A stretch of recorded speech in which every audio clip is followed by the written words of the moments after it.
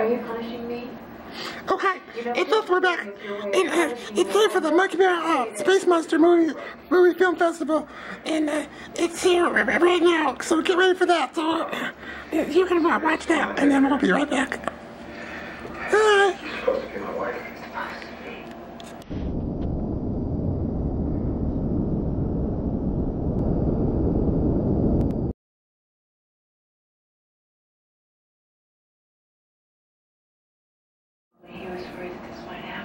What the heck was that?